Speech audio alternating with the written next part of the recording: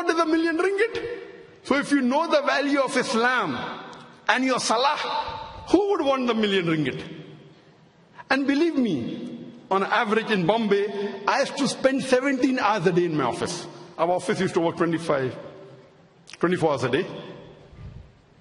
24 hours a day. I used to spend about 17 hours a day. During the holidays, maybe two days a month, I used to do personal business. Maybe less than three weeks a year. Profit? Millions of dollars. Barakah. So why should I ask for money for giving lecture? Allah is giving it directly.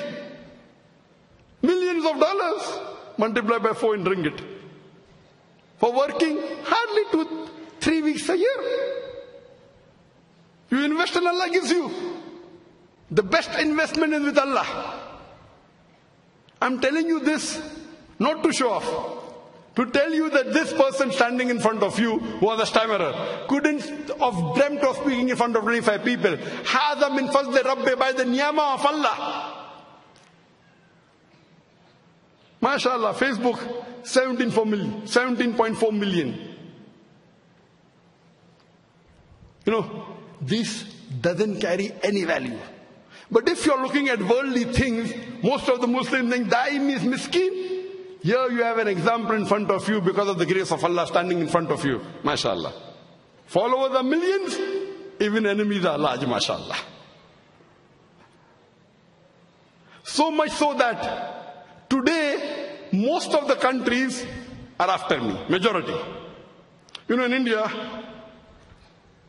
about two years and four months back, in November 2016, they banned the organization.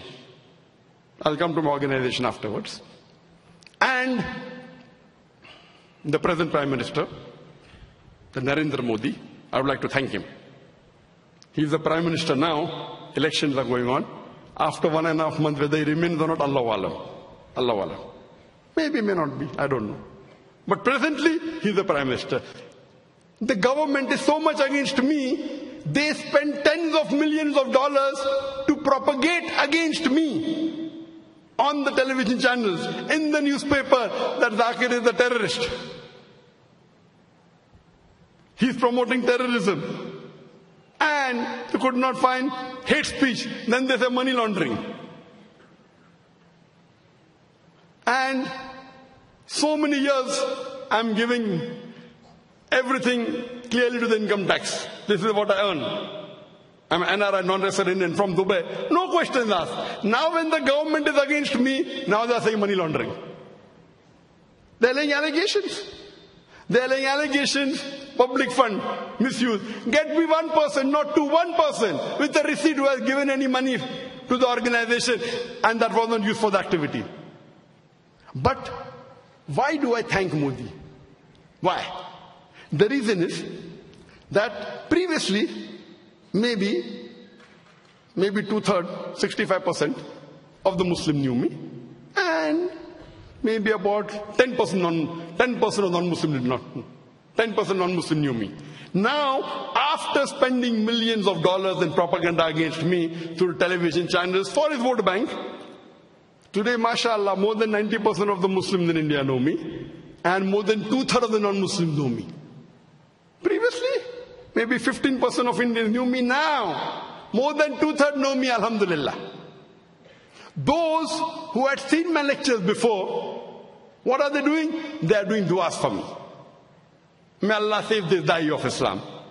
May Allah give them jazak Those who don't know me, have not seen my lecture, they get influenced by the media and they're cursing me. Now when someone curses you wrongly, our beloved Prophet said, it benefits you.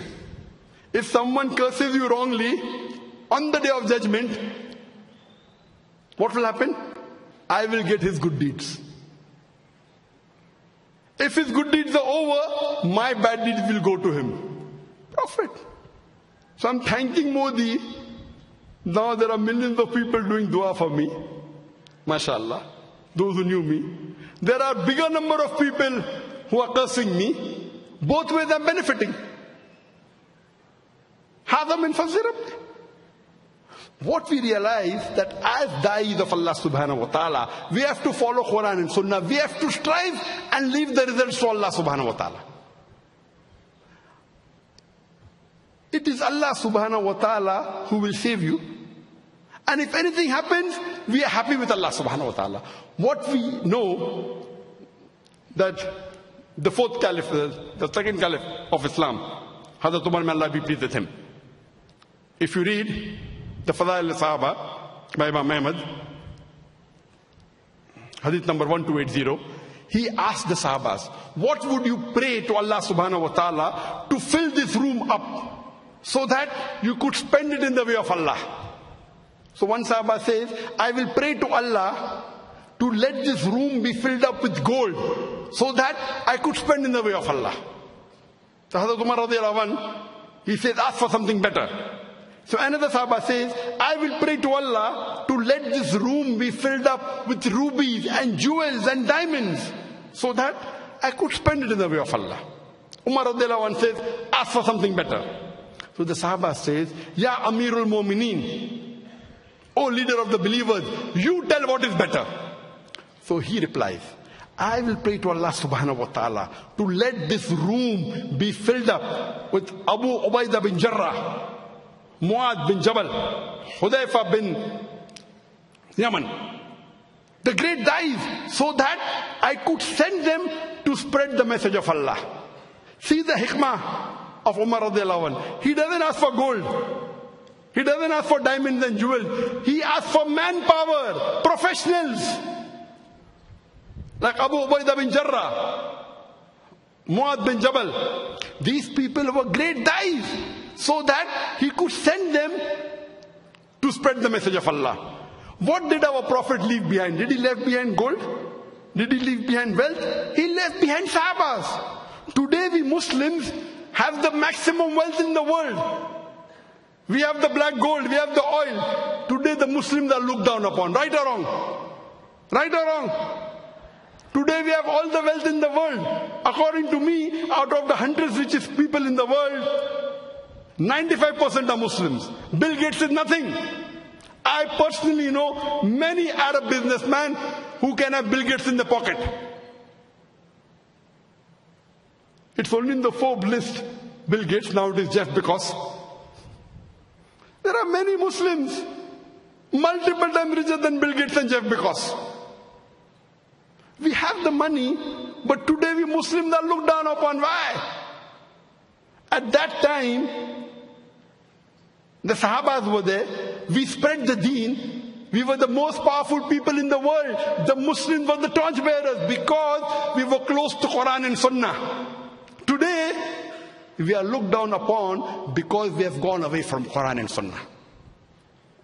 So my request to my brothers and sisters is that come close to Quran and Sunnah. Become a true Muslim profession. Become a true Muslim professional and inshallah you will conquer the world.